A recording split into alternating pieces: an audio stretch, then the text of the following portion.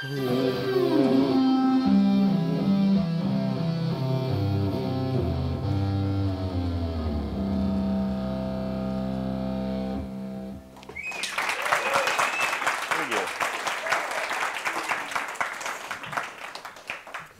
never rehearsed that one. That was just uh, something I was thinking about as I was waiting for my turn. After all the very nice, quiet, intelligent, uh, technical talk, I thought it would be cool to play a little tribute to uh, Jimi Hendrix on the seaboard. So, um, And that's, that's, um, so we're gonna talk about this, but that- that's sort of the.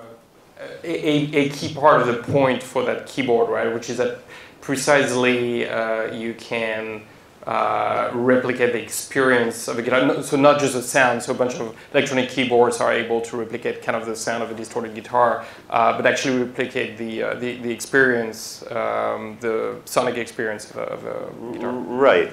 The, uh, the beauty of this, there's a lot of things to talk about with the seaboard, but uh, actually I'll switch back to that lead sound for a second so I can explain it.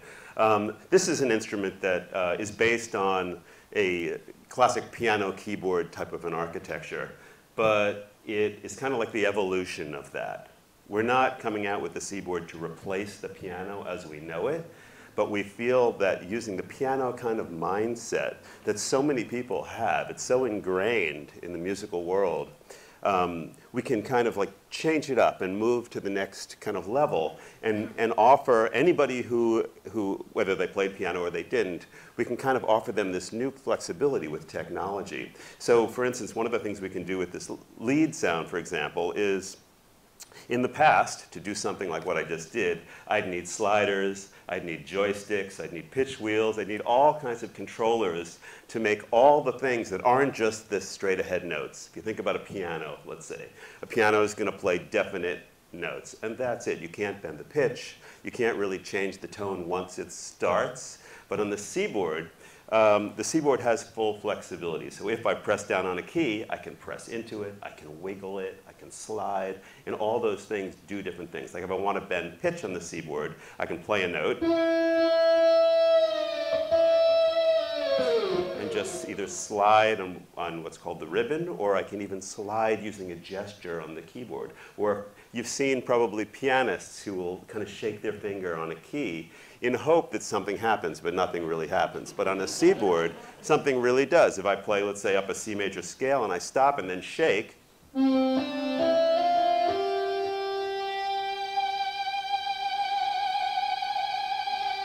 So my left hand, I'm relaxing. I can conduct with my left hand. I don't have to use like a theremin control. I don't have to move a pitch wheel. Everything is done with your finger kind of on the key, which is the big concept here. It's about um, offering kind of the full musical control uh, that you want. You want to have your finger on the pulse of the sonic event.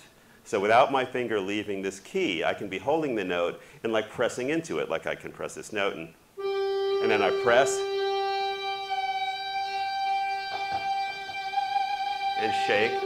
And then if I want to, I can slide off of the actual keyboard and move to a ribbon where I can do longer slides. So if I want to go.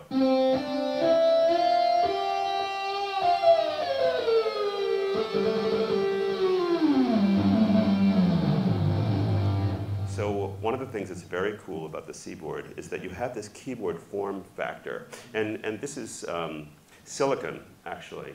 And so in addition to the form factor of a keyboard, which you can see, you also have kind of a, a, a ribbon at the top of the keys and a ribbon at the bottom of the keyboard. So what this means is that the Seaboard kind of is this next generation instrument that changes a lot of things up. But the starting point for it, for it is something that we all know. We all know about the piano keyboard. And in my experience, this is something that's been you know, really interesting to watch with technology and instruments because I've seen a lot of really cool technology come about doing all kinds of interesting stuff. But very often it's very left of center. It doesn't relate to anything we know. So you have to change your whole paradigm. It's a whole different thing. But the reason that I'm working with this company is because I thought it was really cool to offer an instrument that's based on something that's so familiar, but to shake it up so much and push it to the next generation. So um, let me play another sound for you so you can really get the, the idea of how kind of slippery and almost fretless this keyboard can be.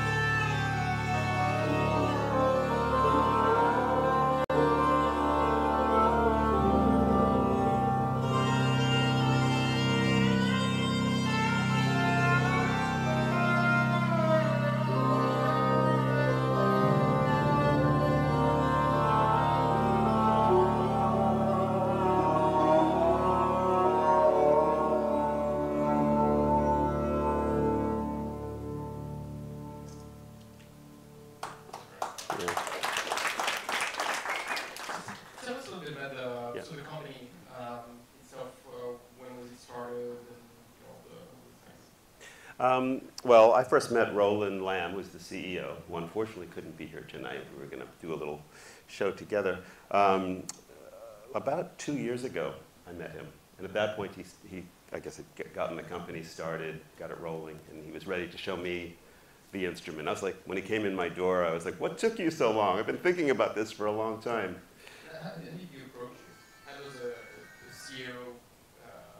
Cool. hey, it's an echo over there. That's really cool. How does, how does the CEO of our company approach, uh, you know, uh, somebody who's very well known um, yeah. and, and, and make a case? Uh, the CEO approached me by uh, taking a, case with the Seaboard and walking it up to my studio himself and unveiling it and saying, check this out. But um, it was recommended, there was a lot of tie-ins with Roland. He, he had heard my name a bunch because I'm very you know, involved in musical expression and technology, and he heard about me. I think he was really waiting to kind of contact me. So finally, when he felt like he was ready and there was something playable, you know, he reached out. And um, he's based, you know, the company's based uh, actually in the UK. But Roland and his partner Corey took a little trip and visited me in New York to show me the instrument. And so you've been involved in, um, in user testing. Um, you know, since this is a, a, hardware event, any any comment on your experience of how you've been working with a team and the type of feedback you've given them and how this whole thing has yeah. worked? Um, one of the really important things with music technology is, and, and it's something that a lot of the companies really forget about when they're producing instruments, is that the end result of it all is that it has to be something that you give to a musician and they feel like they can really be comfortable with and also express themselves. A lot of times, and I won't mention any you know names, but if I play like a you know commercial keyboard, something that might be just a uh, you know a leading product on the market, I'll have a lot of like issues with it. And the problem is because I don't feel like the the loop between artists and the, the engineers is really the way that it should be. So one of the things that I do with ROLI that I'm very excited about and encouraged about is that like when Roland came to me, he was like, Jordan, I want you to be the head of music experience and I want you to make sure that everything we do is really as you would like to see it, and you think it's all musical and it makes a lot of sense. So I was like, wow, that's amazing. That's really, really great. So, you know, obviously in a company like this, they're doing some amazing things with technology and some things that are just beyond my, you know, ability to really understand it because I'm a musician. I'm not, a, I'm not an engineer. However, I've worked with technology for a long time. So there's always that point when something can come out of engineering or something is in testing where they say to me, hey, we want you to put your hand on this to see what it feels like. You know, we want you to try this. So I've been, uh, actually at ROLI, I've been playing on different kind of on sensors. They'll put a little sensor board, a little strip over it, and I'll try the sensor board. I've tried various kind of sliders. And what's fantastic and what's really, I think, something very powerful in the whole way that they're kind of positioning this new company is that they're thinking about that.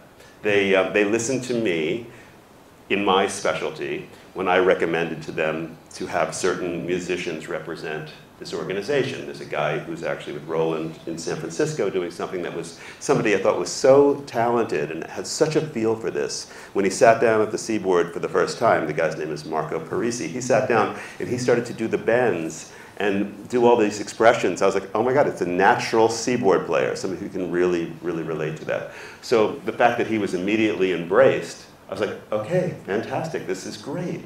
So now I'm looking at a company, I'm working with a company who is positioning all these things in such a way that it's so different, it's so unique, and there's been such great interest in the company as well. I've never seen in my career, you know, as a musician and also in the music business working with manufacturers, I've never seen anything like what's going on with ROLI. It's really, really unique.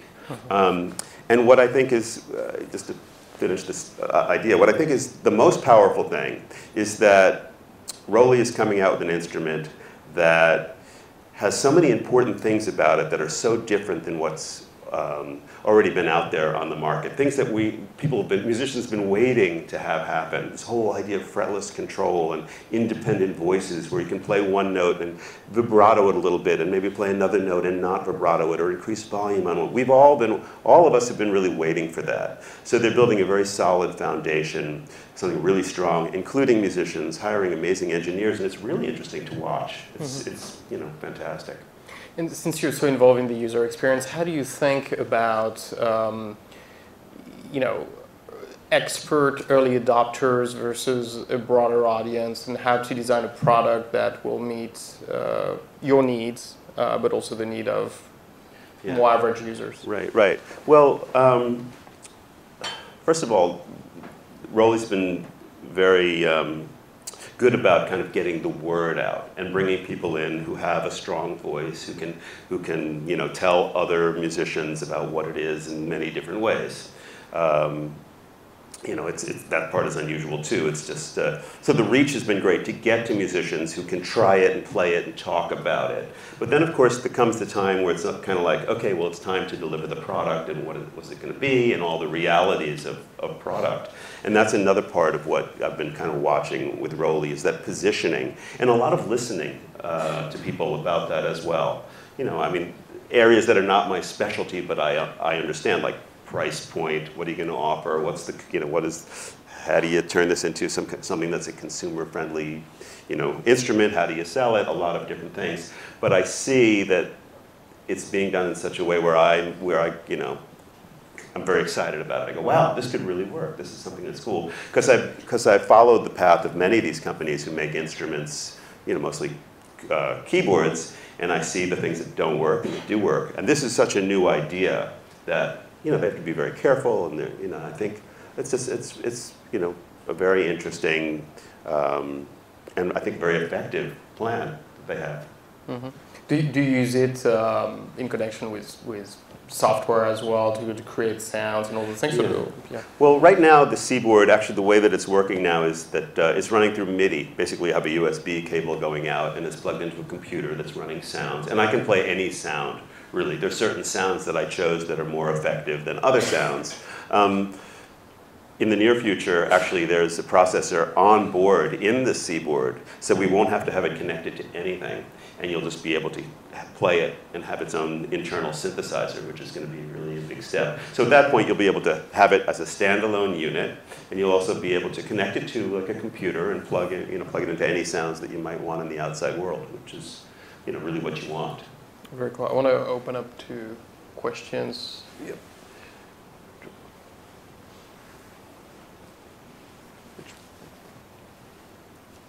Um, it sounds like you take a lot of thought about the player of the instrument. How much do you think about the people who listen to the music produced by the instrument? And does that come into like your design process at all? Um, what's, yeah, I, I think it's really important to build an instrument that has the flexibility to reach, you know, a wide group of people. And that basically means that you have to have an instrument that's capable of producing many different musical styles. So, you know, in designing a flexible instrument, that is the way to kind of achieve that goal. So yeah, there's a big consideration about making something that's not only going to work for like classical music, but that might work for rock music. That's why, you know, I can sit and the first thing I do is play like a wild, you know, Hendrixy kind of lead, and the next thing I do is play some kind of Indian music. And then you know, we kind of like test it for that. Like, how's it going to work playing like a jazz thing? Like, you know, how does it express a saxophone? How about an acoustic bass? We want it to be something where if you're like a film composer, you can use it, have, you know, have it right next to your computer and you can express, you know, a musical line that you wouldn't be able to do on anything else. So, and if you're, uh, you know, making hip hop music, you might want to have some kind of wobble bass sound and have to, and use pressure to do that. So that's totally like a con, uh, big consideration.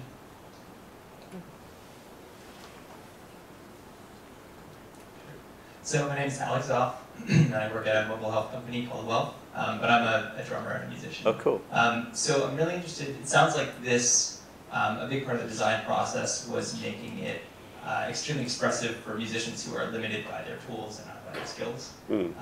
do you think that there's something about the form factor or the interface that makes it easier to learn to play as well, like to, for young musicians to connect with the music? Yeah. Well, um, you know, this is a deep musical instrument. The thing that, that we didn't make it so that it's kind of like, you know, an instant thing, like, you know, an app on your iPhone where you automatically have a certain scale and or you're going to strum a chord by just pressing a button. It's not, that's not the thinking behind it. The idea is that we're giving you kind of a piano-style interface. So the layout is something that you might be familiar with, and if you're not, it's something that's very standard. Beyond that, you know, you, one has to kind of work to, uh, to play this instrument. If you're a pianist, if you played the piano, you're going to have a head start. There's definitely going to be you know, something for you. You'll be able to uh, you know, play. You'll be able to do something. And some people who play piano sit down and right away they're playing it. And I'm like, wow. And other people are like, wow, I really got to wrap my head around that. And it takes time. And even for somebody like me who's been playing the piano for so many years and synthesizers, every day that I play this, I'm always thinking, oh man, I just figured out this really cool technique. So it's kind of like something you, that one will want to and need to spend time with to uh, develop this new language. Because it really is a new it's a new language of you know keyboard playing like fretless keyboard playing. Hi uh, it's awesome well done. Um, are you anyone using this to input other kind of data not just music? You could play games or solve csi crime or something um, not, not yet, not yet, but certainly this technology is like wide open, this whole touch technology. That's kind of like, you know, the, the, the ROLI masterminds are certainly not only thinking about music. And anybody who is, uh, you know, into technology, when you touch this and see how it sends data, you, you know, you think, oh, wow, well, there's a lot you could do with that. So um, I don't know if anybody who's actually doing anything with it right this moment. There might be somebody at the company that's, you know, hacked something together, probably. But, uh, but certainly, you know, this kind of touch technology is, is awesome, and you can think of so many uses for it. Yeah, without revealing too much, there may or may not be some uh, drum and beat related uh, apps in the future. Just curious, the early synthesizers weren't necessarily uh, in, uh, responsive to hammer, right? You know, soft versus hard. Is this, is this sensitive to the impact that you use? Yes, this instrument is sensitive to the impact, but it's also sensitive to the pressure after the fact. Okay. Yeah. Awesome. Yeah. I, uh, I'm Aaron Franco, CTF of QuickSlide. What's the price point on this instrument? The price point. Hey, Evan, do you want to? Uh, that's the Seaboard Grand Stage. It's a 61 QA. The introductory price on that is 3000 3000 Yep. There's a 37 we have the limited first edition, which eighty-eight of those will have remade. Um, it also comes with a really robust custom stand and an upgraded case as well. That's eight thousand eight hundred eighty-eight dollars, and that's eighty-eight keys. But you're supposed to say, but tonight, Special price for you, my friend. and you get a free lesson with it as well. there you go. You know, I want to say that I was thinking while you were talking, one of the things about this, one, one thing that we're trying to do with this instrument, this technology, is bring the playing experience mo- closer to your, your physical being. The idea, you know, for many years people were saying, oh, electronic music, it's, it's not, you know, it's just very mechanical, it's not organic. But with the Seaboard, we're trying to make something that is more organic than maybe anything else that you've ever played. That's, that's really the, the goal. That's what the most exciting thing about this is that your finger can go down in a note and you can. That I can feel that real connection with, you know, what's going on in my head, what's being transmitted down my arm to my fingers, and make a musical statement. And that's what I think that we've, you know, achieved. And that's, that's what it, that's what it is. It's really quite amazing, right? Like the the, uh, the 60s and 70s had all these iconic keyboards, like the Rhodes and the Wurlitzers and all those things, and then nothing happened, right, for, for decades. Uh, or, or is that an unfair statement in terms of evolution of Well, then really interesting new keyboards? Well, then you had the, the you know birth of like the synthesizer, although that you know the Moog synthesizer, the Right, right, right. modular synthesizers, mini Moogs, and there's been a lot of technology, but the problem has been the control factor. Finding something. There's been a lot of different kinds of controllers as well, all kinds of weird things that people come up with, but nothing has really caught on that's outside of the, the norm. And again, that's why I think this is really important. That's why I'm even here tonight, because I think this is something that really could bring us into the future and catch on in a, in a big way. You know, get the ear of composers and arrangers, and I think everybody, once they understand what this will do, I don't see, you know, any reason why they wouldn't go into a music store and say, I need one of those. Right, right, all right. So maybe we'll, one last question is there somebody else you can you get a second one, uh, and then I, I think I'm not gonna resist the temptation of asking you to play a little more. Okay. Does, does this, the introduction of this instrument into the musical world possibly make other instruments obsolete? Let's say like an entire orchestra would be using these. Is that something that you could see in the future? Um, it's hard to make classic instruments obsolete because really, you know, if you're, let's say I was playing a string sound on this, right, which I have, I could play a very beautiful, very effective string sound on this, but it's never going to really replace the real thing. It's something different. It might be amazing and beautiful and, you know, really expressive, but it's not going to replace it. So, you know, I think a great instrument is a great instrument. This instrument offers other, you know, capabilities. I think that this might replace or will replace a lot of the keyboards that are in people's homes that have them connected to computers that are like arranging, composing music. I think there's no doubt. Um, because if they don't, you know, at some point if they don't like add this to it or maybe even replace, then they're going to miss out on, on all this new kinds of expression that they could have. So, but, but again, this is not to replace the piano keyboard because you can play certain things, like I could play something on a piano that I just couldn't play on this, and vice versa. I could play something on this that I just couldn't play on the piano, just by the way that it's laid out and the way it feels and all that kind of stuff. So, Could you give us a demonstration of something you couldn't play on the piano that you could play on this? that I couldn't play on the piano. Yeah, well, the sounds, sure, the sounds that I, like the one I have in front of me now, which I was going to play, is something that I definitely couldn't play because it's, it's, it's like a, uh, a sax emulation, right? But the way that it's expressed, I could never do. Like, uh, you know. I mean, right there, even just bending the note and shaking it, uh, already it's not, I can't do that on the piano. So.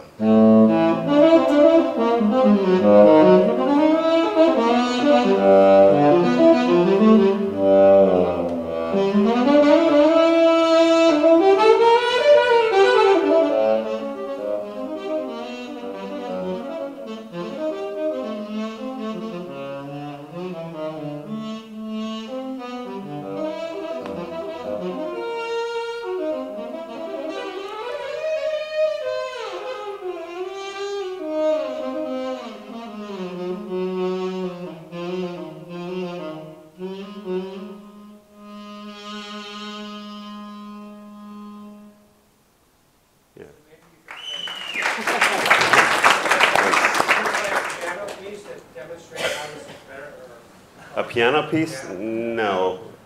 No, I don't have, first of all, I didn't prepare like a piano sound. And if I did, I wouldn't play it because I, it wouldn't be, I wouldn't play it the way I would want But I to. mean, to contrast what, what a piano might sound like versus what this could enhance.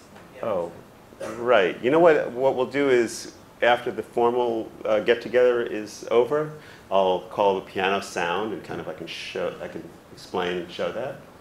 I think that'd be the best way to do it. All right, maybe just one one last thing. Then pick pick whatever sound or whatever, obviously Yeah, whatever you want. I'll pick then- one of my favorite. I'll pick one of my favorite sounds. This is a sound that's kind of a cross between something that's realistic and something that's also kind of new. Um, you'll hear like a guitar element, but also a dreamy element. Um, so here, check it out. Can you play another day? I could, but not right now.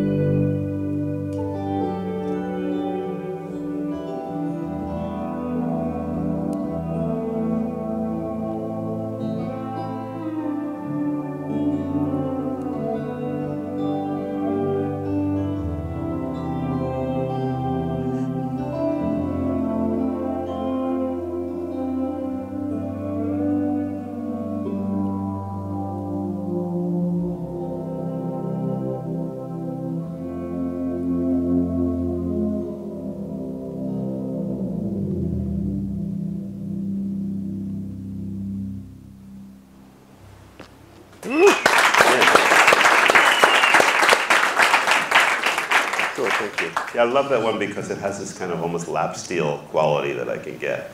And what's, uh, what's fun about it is that I feel like my Juilliard training kind of comes into uh, play because I can do things like I can hold a couple of notes like this, and while those are holding, I can take another two and bend them like.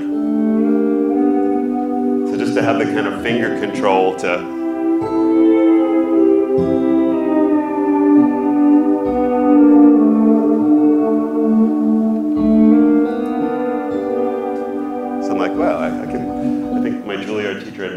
had no idea that the future this would be happening. I would show her, but she's not on the planet Earth anymore.